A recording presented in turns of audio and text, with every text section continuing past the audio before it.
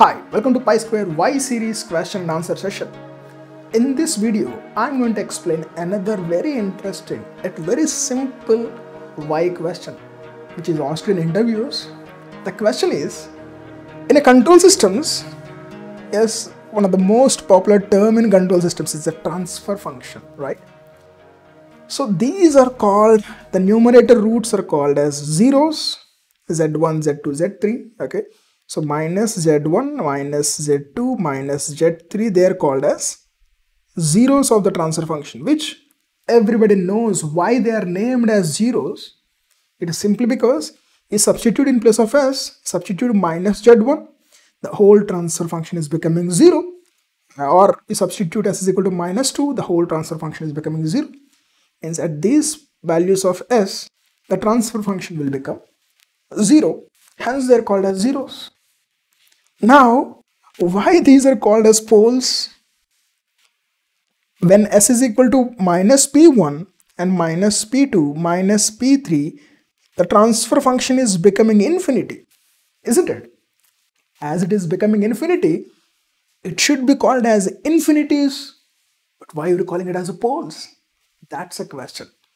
You might be thinking it is a simple question, but you see the beauty behind this question, then you will feel the essence of control systems. Okay, I'm going to explain that in this video. Okay, and I already discussed different such different Why series questions. Why 11 kV in India? Not in India. Why 11 kV used overall uh, why not uh, 10 kV? Why 50 Hz is used in India? Why transformer is in kVA? Why AC is measured in ton? AC capacity is you know specified in terms of ton, right? There are different Why series questions. You check the link in the description. You'll get very good, interesting insights so that you know your interview will become much easier. Okay, so you check that.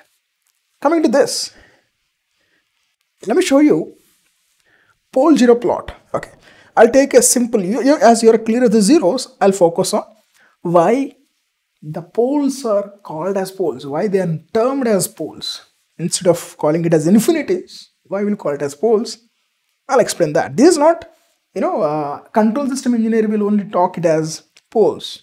A mathematical person also, a mathematician also will call them as poles, denominator roots, they will call it as a poles. Let me explain that.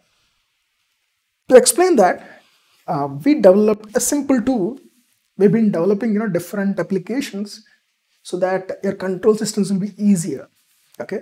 You can check the trial course of control systems for gate courses. Check the link in the description so that you'll get a free trial course to experience the beauty of control systems. Okay. Yeah. This is a pole zero plot of a typical transfer function. You can verify the transfer function. What I'm taking here is s square plus 5s plus 11 is a transfer function. I mean 1 by s square plus 5s plus 11 is a transfer function which I'm considering. For that, pole zero plot is this. Okay. As there are no zeros, zeros are not represented. Only poles are represented here. If there would have been zero, suppose s plus 1 would have been there here, then I'd be representing here with a circle a 0. But as I don't have it, I'm not representing it. Okay. This is what common representation. One of the question is why they're termed as poles. That's a question, right?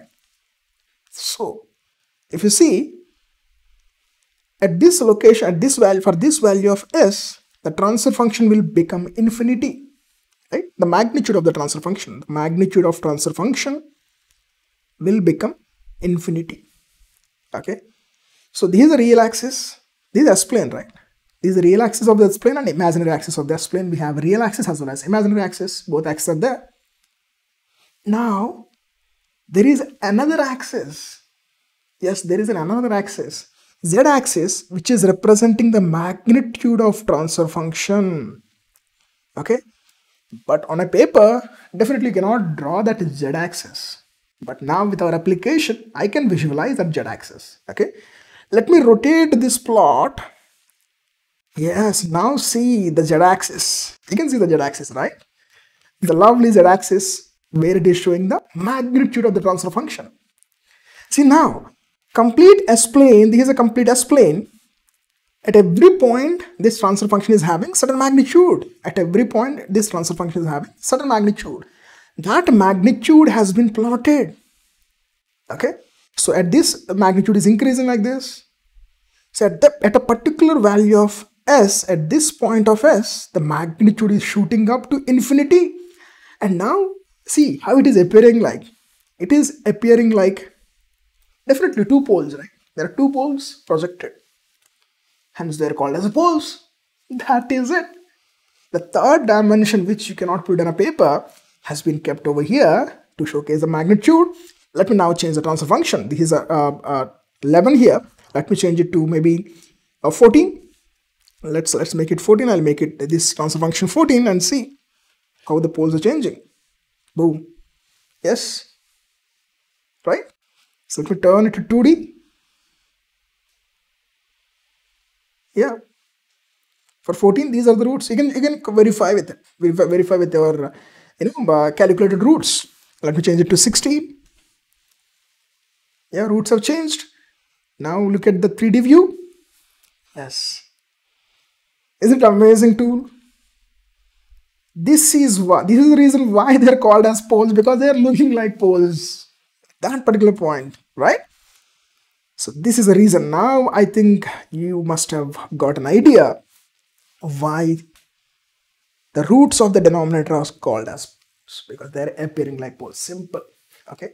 There are a lot many such simple things which we are showcasing you with the visual graphics and different applications. You check that link, check take the course, free trial course, enjoy the free trial. If you like the course, then okay, you go for the full course. Okay. That's it. That's the end of this lecture. Thank you. See in the next Why series video. Okay. And like this video if you like it and share the video with your friends so that we'll be doing more videos. More you share, more we'll be uploading the videos. And subscribe to the channel if you want to get notified for such kind of interesting topics. Thank you. See you in the next interesting video. Happy learning. Enjoy learning. The world has changed a lot, but our education system or our learning system has not changed much. Do you agree with me? Come on, just by using a digital projector or a smart board is not going to bring the change in your learning. Myself Sekhar presenting you a brand new and innovative teaching methods which will let you fall in love with engineering and it will also help you to crack any exam, GATE, ESE, Transco, GENCO, any state government, central government jobs, any job you can crack it very easily with the help of our 3D animations, live demonstrations, and interacting and interesting simulations, specially designed tools, which will not only clear your concepts but also let you fall in love with the learning and explore the beauty of engineering. Check the link in the description to get a 365 days free trial course. Yes, absolutely free trial course for 365 days. Check the link in the description. Happy learning and enjoy learning.